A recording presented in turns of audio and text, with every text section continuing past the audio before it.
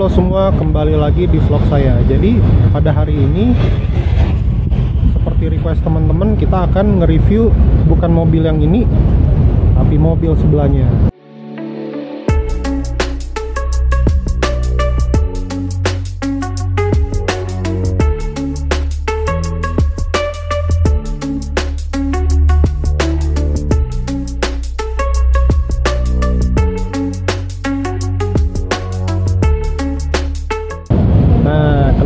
Ini Randy yang punya M46325i. Randy ini temen gue di Freeport dulu, jadi ya masih teman, cuman gue udah nggak di Freeport gitu. Nah, Iya. ceritanya dia keracunan, Iya. keracunan orang yang orang yang di Freeport, tapi ngomongnya soal BMW sama Mercy. Gitu. Jadi alasan gua beli ini sebenarnya dulu 2019 ada yang ngeracunin gua buat beli BMW. Nah setelah konsul-konsul dan akhirnya inilah yang gua ambil ya 325 325i. Jadi Berkat Bang Timo semuanya ini. Nah, jadi di vlog ini kita akan bahas apa-apa yang perlu dicek ketika mencari sebuah M46 khususnya yang tipe 325. Oke guys, jadi pertama-tama jangan langsung lihat area ruang mesin ya. Pertama ini nih yang gue bilang karet-karet sini nih itu kalian lihat karet-karetnya harus mulus. Kenapa harus mulus? Karena karet-karet itu mahal. Dan kalau getas, kalau getas itu nanti air hujan akan rembes dan bikin eh, masalah elektrikal di mobil kalian. Dan juga otomatis bikin kropos gitu.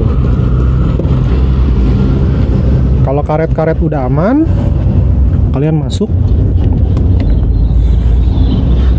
dan buka ruang mesinnya. Nah, ini adalah ruang mesin 325i, mesinnya M54B25. Yang pertama-tama kalian mesti cek adalah ada rembes coolant atau enggak. Kalau rembes coolant nanti ya pasti akan kelihatan kayak berkerak-kerak gitu. Dan ini seperti kalian lihat termostatnya ini mechanical semi elektrik.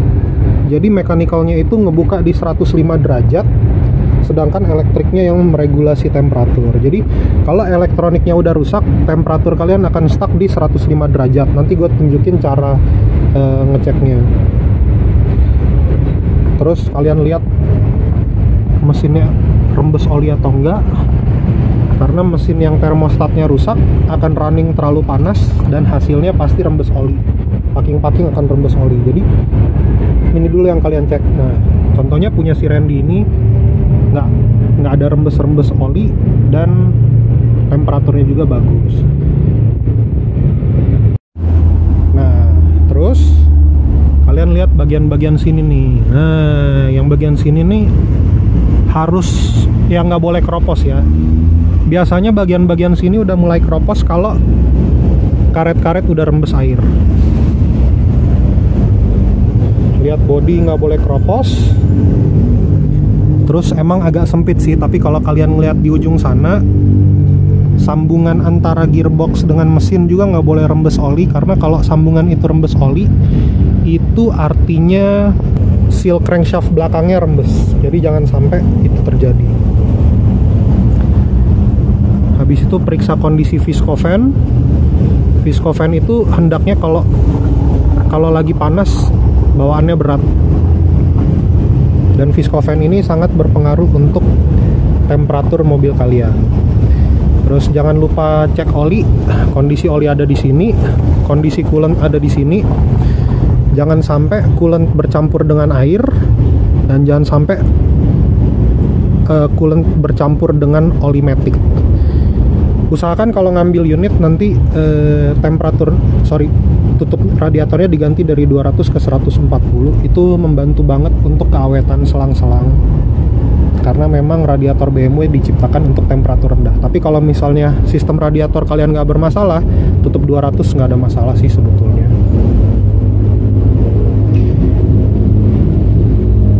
Selanjutnya yang sebaiknya dicek adalah sistem DISA DISA itu adalah uh, sistem elektronik di di dalam sini. Kalau nggak salah ini ya unitnya unit DISA itu adalah flap plastik yang mengarahkan udara masuk ke intake manifold yang panjang atau yang pendek. Kita nggak bisa ngecek DISA secara langsung, tapi bisa dicek dari selang hawa ini. Kalau selang hawa ini rembes oli, di sini basah dengan oli, hampir bisa dipastikan bahwa disanya akan minta ganti dalam waktu dekat karena oli ini akan masuk ada oli yang masuk balik ke intake manifold lewat separator oli. Separator oli itu lokasinya di bawah sini. Tapi selama selang ini tidak rembes oli, maka biasanya ya, biasanya separator oli yang berada di bawah sini dan bisa harusnya aman karena yang lewat sini murni udara bukan oli yang membuat plastik itu jadi gampang getas selanjutnya nggak banyak yang bisa dilihat sih di ruang mesin. Ya mesinnya gitu-gitu aja ya guys. Jadi paling ya lihat-lihat aja apakah ada kabel asing atau enggak biasanya mobil Jerman itu perkabelannya rapi jadi selama nggak ada kabel asing sih harusnya aman-aman aja. Nah, selanjutnya yang teman-teman mesti cek itu di underside. Nah, di bagian-bagian kaki-kaki gitu kalau bisa. Nah, ini mobilnya agak ceper jadi agak susah. Tapi masih bisa kelihatan.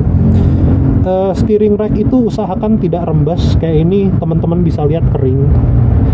Jadi steering rack itu penyakitnya BMW dari zaman dulu ya dan rata-rata rembes. Jadi perbaikan steering rack tuh mungkin menghabiskan sekitar 3 jutaan jadi kalau misalnya teman-teman bisa nemuin mobil yang steering racknya masih bagus kayak gini it's a big plus. Nilai tambah yang sangat bagus. Selanjutnya teman-teman masuk. Uh, teman-teman uji aja semua fungsi elektrikalnya seperti biasa. AC dan cluster itu wajib nyala semua karena terhubung. Jadi kalau cluster mati, biasanya AC-nya juga akan mati. Dan kalau sampai itu terjadi wah teman-teman harus nyervis elektrikal itu masalahnya lumayan besar sih. Nah, di sini kita akan lihat tes 7 istilahnya. Dan teman-teman bisa lihat temperatur mobil itu aslinya harusnya berada di berapa derajat celcius teman-teman cek dulu. Pertama tes 2 ya. Kita cek instrumen klasternya berfungsi semua atau enggak. Nah teman-teman lihat semua lampu-lampu di sini. Waspadain ada yang mati atau enggak. Kalau udah teman-teman pastikan bahwa semua lampunya menyala baru nanti kita lakukan tes 7 tapi kita tunggu mesin agak panas dulu baru kita lakukan tes 7 supaya kelihatan berapa operating temperatur BMW yang seharusnya. 7 aja gitu ya bang? iya. Jadi ini nih kalau misalnya kita pakai tes 7 temperaturnya diam di 90-an nih. Banyak orang yang temperaturnya di 105 kalau teman-teman udah uh, udah mengetes fungsi elektroniknya teman-teman bisa coba bawa jalan rasain apakah perpindahan giginya halus atau enggak. M46 itu pendingin metiknya metik ATF coolernya tergabung dengan radiator. Jadi usahakan teman-teman eh, ganti ATF cooler setelah mengambil unit. Dan pastikan termostatnya benar karena kalau termostat teman-teman tadi berada di 105 derajat berarti metik kalian akan berada di 105 derajat terus menerus dan itu panas. Ciri-cirinya kalau metik udah panas adalah ketika teman-teman macet-macetan kondisi mobil berada di D biasanya giginya selip atau responsnya telat atau misalnya ngejeduk gitu. Nah kalau misalnya teman-teman pakai M46 sebenarnya masalah utama salah satu masalah yang sering rewelan itu adalah sistem ABS dan cruise controlnya. Jadi pastiin cruise controlnya bekerja dan nggak ada lampu-lampu nyala ABS kalau cruise controlnya bekerja semua fungsi elektrikal bagus termostat juga kayak tadi teman-teman lihat stabil di 93an kondisi mobil oke AC dingin interior bagus dan harganya oke ya udah gas aja. Paling cuman ngerawat-ngerawat seperti biasa. Nah jadi itu aja vlog singkat mengenai cara-cara untuk eh, mengecek sebuah M46 sorry mungkin back soundnya agak berisik karena memang kita di pinggir jalan. Nah Ren lu pelihara mobilnya udah berapa lama Ren?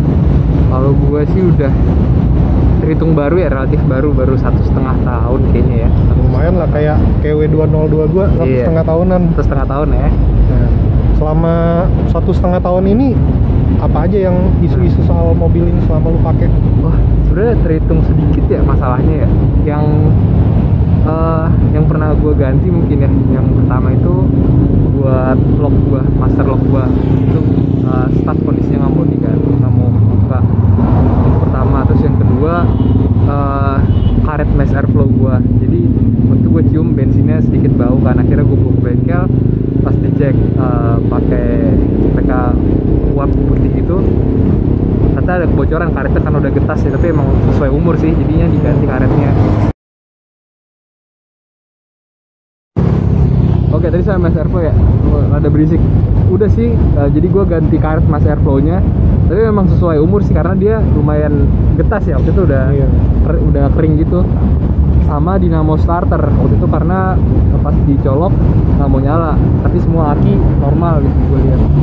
Paling cuma itu sih satu setengah tahun. Paling juga cuman top up oli mesin ya. Hmm. yang di depan itu karena mulai apa muncul warningnya langsung gue top up cuma satu atau dua ini. Gitu. paling yang dibawa ke bengkel itu sama.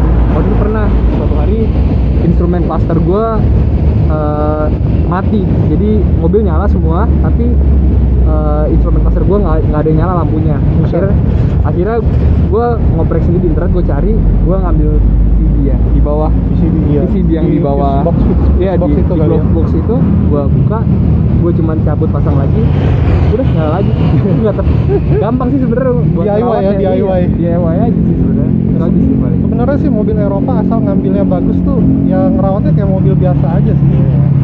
Kecuali ya kayak di vlog sebelumnya E39 gua tuh habis mungkin 15 jutaan untuk part-part vital gitu tapi justru yang jadi mahal tuh part-part yang harusnya kita nggak perlu ganti tapi kita gan- kita harus ganti gitu kan kayak body propos, pajak mati.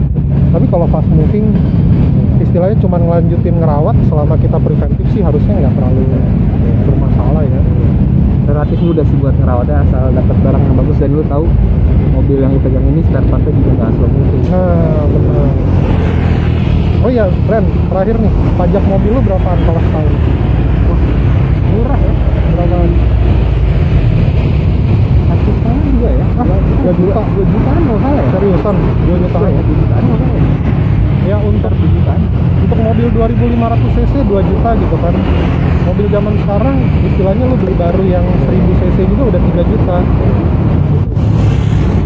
Jadi ya asal teman-teman ngambil unit yang bagus sebetulnya jangan terlalu takut pelihara Mercy sama BMW.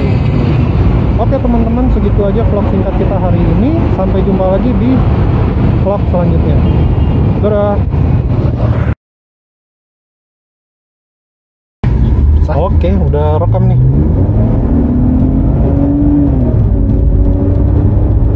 Sadap.